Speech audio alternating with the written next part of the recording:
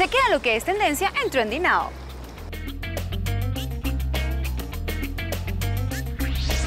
Tendencia 1. Combinaciones gastronómicas.